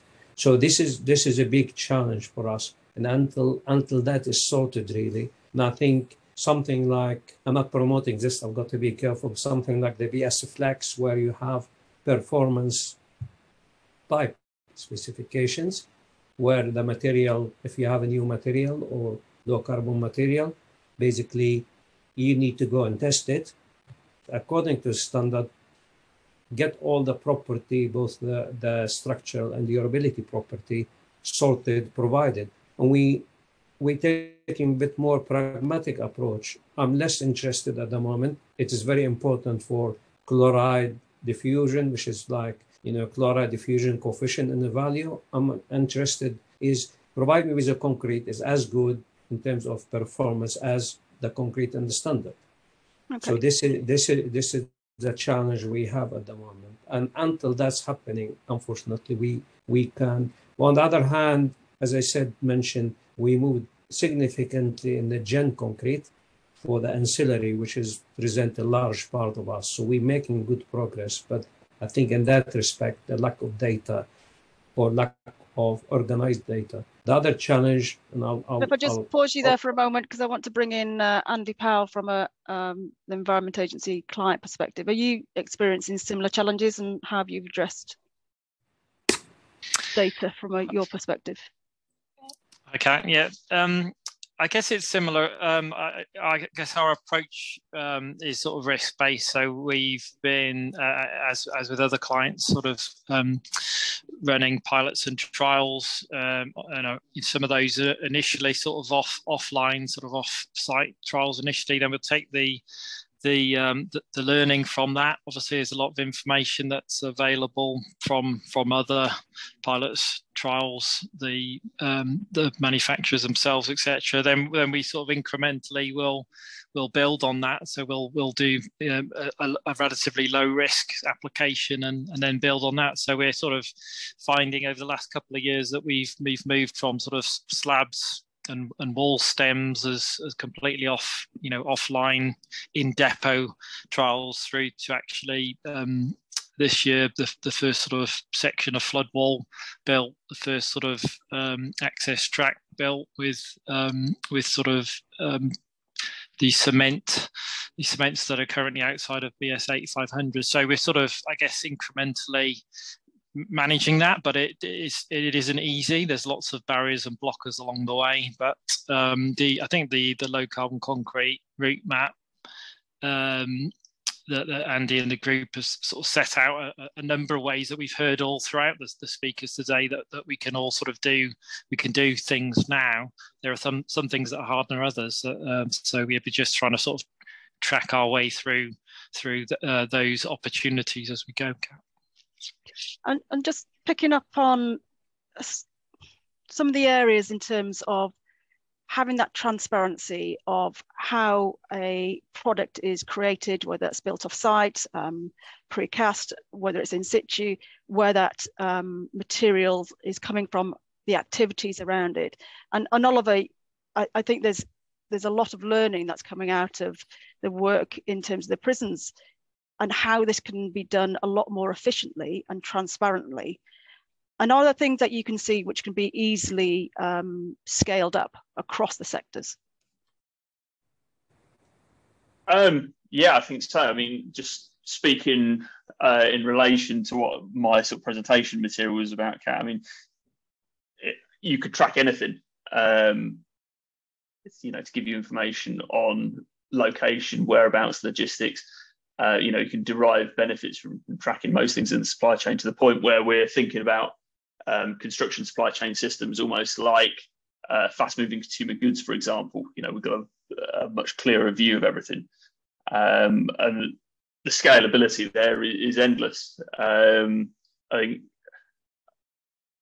other things that, that would really help in the sector and uh, particularly through what we do in the prisons, this is a good example, is aggregation of demand. So we're very fortunate in the fact that we are coming off the back of sort of three onto four successive prisons now that have been almost exactly the same design and having that platform design um, and the continuity and the, that sort of platform design um, allows us to, to tweak and optimize on a large scale much more easily than if we're starting with a blank sheet of paper every time. Um, and I think uh, to their credit, I think the MOJ as a client have, have really um, facilitated that.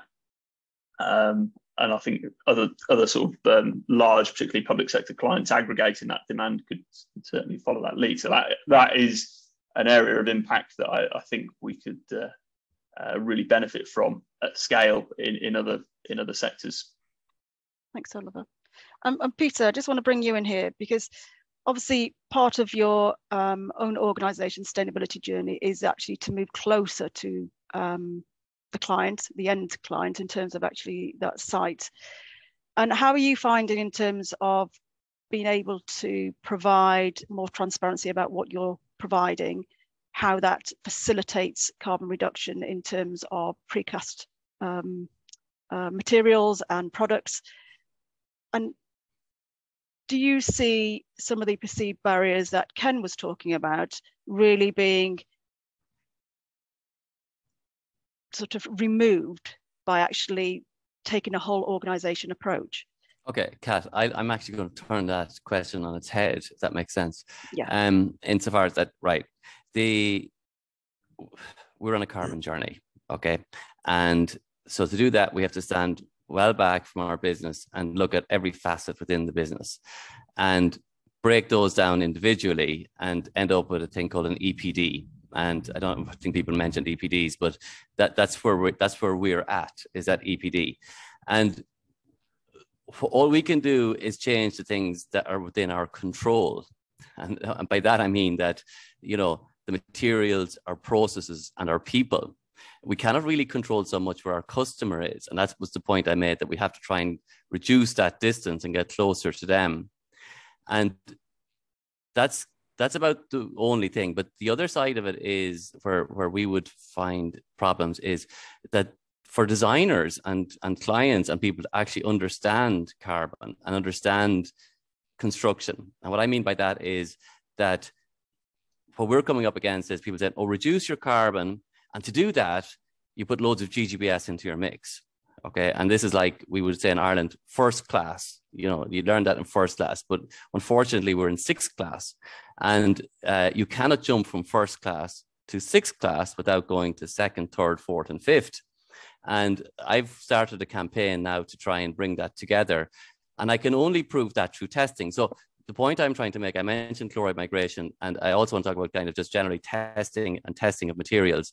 That I'm just throwing this out there that people have to be aware that if you start changing a proven process that's been developed in, in the UK and in Rome for hundreds of years using cement and concrete, we have to have balance between carbon and actual performance. So if we introduce new materials, then how are they performing? And, and I can tell you now, they perform differently. So if you, I, I don't bore people in this conversation, but if you replace cement, a CEM1 cement with 60% GGBS, then it might perform better from a durability point of view, but it may not perform better from a performance point of view. And the only way to prove that is through testing. And these are the things that we're finding. And that's why we're focusing a lot on R&D and a lot on the lab. Carbon, in some respects, is just a by the way, because the construction, the concrete, the material, it has to be built to last. And that's where we're starting from. It's coming back from that, but bringing the carbon agenda with it. Now, I hope that didn't confuse you, Kat. And no, uh, and for and for those on the call, um, EPD stands for Environmental Product Declaration. So um, uh, you can look at more information on that side. No, I think you make a, an interesting point, but I want to bring in uh, Andy Kane here because the need for testing and also being clear as to how products perform, what they're there to do, and when you're swapping things out from a carbon reduction hierarchy perspective, it will have an impact in terms of, uh, as, as Peter and other has said, you know, how actually that material operates in practice, how long it will last. So you mentioned in, in your presentation from an insurance perspective, losses. But actually what we're seeing is a lot of changes happening across industry. We're getting more transparency as to where products are coming from, actually the, the transparency around the data and evidence. But are we still in a position whereby there's uh, a lack of trust and uncertainty from an insurance perspective? So we're not breaking it down into bite-sized pieces. We're just looking at an overall loss, and therefore we're all impacted. Well, I, I mean, I think that's a, a good question, Kat, and it's been uh, uh, the insurance industry works on data and on historic data. You know, that is how we calculate what we charge for um, the transfer of risk in the premiums that we charge. So we've already heard from you know, a number of the panelists um, today and speakers about that lack of long-term data. Um, but I think what's really positive is the the the the focus that I've also heard on, you know, the longevity, performance, safety that have been mentioned um, as being the priority. Um, I think the challenge the challenge for the insurance industry is that there are the the things that we we're concerned about are um, an unknown risk and systemic risk. And if we look at you know examples, we've already heard about the uh, salt um, issue back in the 60s. Um, UK is now dealing with um, a systemic issue around reinforced autoclave aerated concrete in schools and the number of schools that have got that issue in it now. Um, so we're very concerned about those issues in the future. Um, and the only way that we can really get that confidence is through engagement with the industry bodies, with clients, with manufacturers. Um, you know, and we uh, uh, we use our, our, in-house engineers and external specialist consultants to review the designs, the the proposals. Um, you know, we'll go on on on site into manufacturing facilities to witness, um, you know, the curing and the testing. Look at the test um, the test results. But this is quite a a, a fast moving um, uh, uh, state of the industry where we've got a lot of these changes. And what we really don't like is people saying we're going to use much less concrete in a design and we're going to use a different type of concrete um, and we've got no historic data for it. Will you please insure us for the next 15 years? Give us a warranty. Um, that's a just, concern for us. Yeah. So, so just challenging that because it, I, I think the way obviously the insurance industry is taken forward by looking at historic data. When you're looking at innovation, a lot of historic information is not there. You have to look at how yeah. um, the product uh, is intended to be performed, actually the monitoring and the evaluation ongoing. So if you're constantly looking back, we're never going to be able to move forward as an industry yeah, and be more proactive.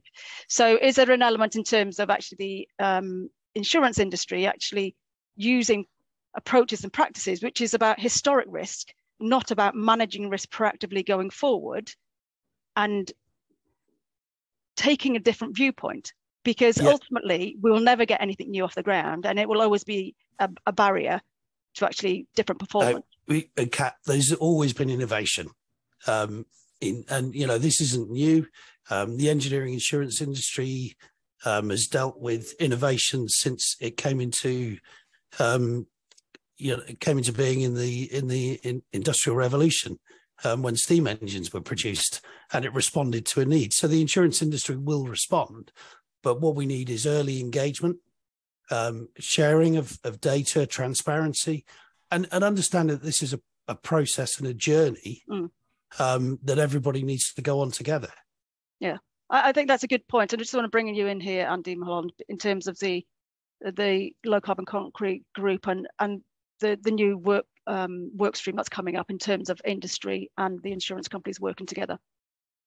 Yeah, so I mean, I've uh, been listening to uh, uh, Peter and Andy, uh, and um, been wanting to to chime in with a with, with a few comments. so uh, I'm going to try not to make this sound like a moan or, or pointing the finger, uh, but certainly collaboration and and transfer of knowledge across everybody who's working within the construction industry or supports the construction industry is key. and we do have some significant hurdles to get over.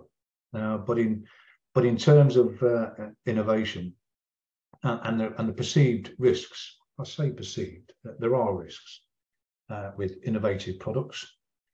But um, fundamentally, um, I haven't heard of any innovative um, products being the cause of any structural failures in the last 20 years. They're all they're all Portland cement based in the last 20, 30, 40, 50 years. You know, high alumina cement wasn't a, a low carbon concrete. Um, reinforced autoclaved aerated concrete isn't a low carbon concrete. So first and foremost, I think we need to disentangle definitions and references. You know, what is a risk, what is a lower carbon concrete, what is an innovation, what is new, what is old, uh, and so forth. Because when you talk to different people with different biases, uh, you get. I'm not sure if it's just me. Um, Can you hear me? Yeah. Yeah. Yeah. Losing yeah. sound from you, Andy. Yeah. No. No. no it's good for me. Good. Yeah. yeah. But depending on who you talk to, uh, and who you listen to, they, they, they, have a different interpretation of what a, a low or lower carbon, what is an innovation, uh, what is uh, uh, a risk, and, and, what isn't a risk. What we do need uh, is to work with um, people like Andy, well, myself and Peter and Andy Powell need to work with people like uh, Andy Kane and those in, um, surveyors and structural engineers who Andy goes to for advice on, how they're interpreting what they're being presented. Because a month ago, I sat in a room of uh, uh, um, surveyors and structural engineers who work for the insurance sector, and they have a very narrow view of um, uh, of what they would refer to uh, for guidance in in demonstrating whether they could provide warranties or not. So, so that's a challenge. I'm not saying it's wrong. It's just a narrow view. But the construction industry needs to support Andy and the wider insurance sector in order to enable these innovations to, to progress. Maybe just one last question um, from David Simons. Um, most problems with concrete concern the effects caused by corrosion, um, and the main driver that requires high cement contents to satisfy the durability requirements given is in uh, BS 85 zero zero. Why are alternatives to conventional steel reinforcement, such as GRP and, and basalt fiber, not investigated more for more general acceptance? Don't know if anyone wants to try and answer that question. Dirk, Dirk, I was I was slightly hitting on that in my presentation. Yeah, uh, that's that's something we're working on the whole time. Um, as I said, we probably were the first people to produce a pre-stressed basalt fiber bar. You know, to, so to look at the the opportunity to produce a pre-stressed flooring slab instead of a typical hollow core, which has got standard re uh, strand rebar inside. So um, the, the unfortunate thing is, and it goes back to probably our insurance man Andy. Um, you, you can do loads and loads of things which we're trying to do, and you can present the information and you can present the results, but somebody has to sign off on it and uh, so codes, uh, specifications, they have to kind of keep up. They have to be aligned with the insurance industry because that's the world we live in. And uh, so, while I might try to convince everybody in this webinar that basalt fiber pre-stressing can be done, and it's a great job, um, how do I prove it? You know and uh, so these things uh, as i said portland the cement companies don't have to prove portland cement. That's proven itself for hundreds of years. So uh, any new additions i think we've touched on it it takes time but you have to be chipping chipping chipping. And that's why uh, i just touched on the, the, the basalt, the, the GFRP, there are things that we do. We, where we have the opportunity to use those where there isn't a kind of an insurance situation, uh, we use them. Where there's a corrosion, uh, a cover situation, th- you know, different things. Uh, we've been able to squeeze it in, but it's a long road uh, to getting all all these kind of alternatives approved and accepted. So it's a difficult one. But all we can do is, as as an industry, is try to try to get there. You know, you have to start somewhere. Yeah, I consider come in quickly yeah. if possible. Yeah, I was just on that that um, that last question, um, I'll be very brief and just to say that yeah, no, that's a- absolutely um, the sort of thing, the alternative reinforcements that um, that clients are looking at. I know you know the Environment Agency particularly looking at that because um, a lot of our um, construction activities are in the water environment, particularly in coastal environment. So corrosion uh, is a real real issue and um, yeah we've been um, we've been doing some some trials again with um, uh, with the likes of FRP and, and basalt uh, fiber reinforcement, um, which are you know uh, are getting us in the right direction. Um, but um, uh, you know we, have still got a long way to go as far as making it easy. So it, it, it seems like each time um, we have to sort of go back to basic engineering principles because in the absence of the sort of UK codes, we're using American codes. Uh, the different products behave differently so it's not a sort of one one sort of methodology approach so but but there's you know there's things that we can do to make that easier but we've got some really good examples where we've done uh, sort of you know precast um, um, um, sort of ultra low carbon concretes with AACMs combined with the alternative reinforcements, um, and uh, sort of showing that you can precast these. Um, but but equally, we need to make that journey easier for project teams. Andy, Andy, can I just cut in? I know we're stuck for time, but just going back to the point you're making, they I would encourage you to look up uhdc.eu, which is the research we're doing on ultra high durability concrete. And the emphasis again is stick with what's known. We're using cement. We know it works. But what can we do to make it better? Uh, so that that's kind of the approach where and we're looking at stuff on the nano scale. So nanocellulose, nanosilicates. So we kind of go, look at, you know, cement, we know it. So we, we have a good we have a good foundation. We'll work with that uh, but what we'll do is we'll, we'll try to produce a very resistant concrete. So now by producing a more resistant concrete, then we can reduce the cover, we can reduce the section, and albeit that there might be rebar inside, but guess what? It's going to take 150 years before potentially something kind of corrosion will get there. So look, it's there's different approaches to answer that question, uh, Kat or Dirk. You know, it's it's a it's a committee like this. Super. Right, I'll just want to draw the Q&A to a close and thanks everybody for their presentations and their panel input. Um, just in summary, um, just like to say thanks to all of our presenters, Andy in terms of providing that overview and the progress from a low carbon concrete route map perspective and the work that's um, started or upcoming. Saeed from a client perspective in terms of covering what it means for an asset owner and operator and that application specific requirement that's needed. Ken from a consultancy perspective um, and understanding that you know even the application of a carbon reduction hierarchy can have additional benefits and what that means in terms of whole life carbon and build off site um, activities and there's a report available on that side as well. Andy Kane from an insurance perspective and actually understanding where that risk comes from, what we can do to reduce that and support industry movement. Um, Oliver from a practical perspective in terms of what it means on a project and how we can actually improve performance going forward and having more of a tagging and tracking approach and using digitization effectively.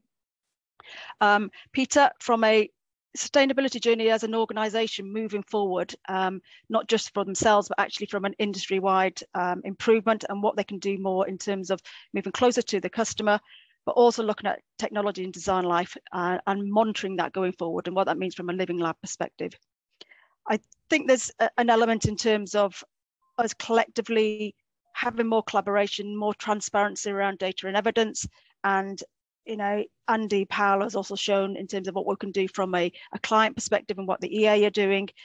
But really, it's this is a constant moving feast.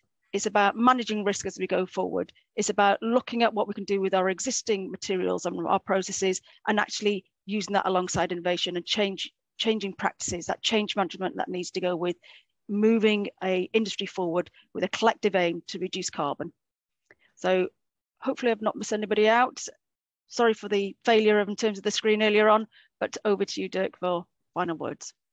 Uh, thanks very much, Kat, for um, really well summing up what we've just been discussing. And, and I think there's definitely food for thought um, and the scope for future discussions which we could also, uh, I, I, suggest, continue on site. You can see from the upcoming uh, visits that we've got planned. We, we have quite a few in the pipeline. We're going to a number of uh, factories in the next few months where we would love to uh, network and, and have more peer uh, discussions amongst yourselves. So do, do, keep our events in mind going forward. But I, I just want to again thank Kat for ably chairing the event and um, I really do think we've managed to bring together some really good strategic, uh, practical, and scientific insights, uh, which which are worthy of further further discussion. So, uh, as our groups managing construction risk, net zero carbon forum, and Build Offsite, we will continue these discussions, and we'd love to hear from you if you'd like to contribute to them as well. Do give us some feedback as well on today's webinar. Um, my colleague Charlotte will most probably be sending you a survey quite soon, um, trying to hear from your webinar experience, building on that, trying to improve things, but also hearing any suggestions for future webinars. If we haven't covered all your questions, do pop them over to Charlotte and we will try and get some of the speakers to respond to them. Um, and last but not least, um, as as Kat said, there was so much content, some fantastic high quality content. You'll want to digest it. We will send you the links to the presentations provided we have speaker consent and a recording will also be made available to you.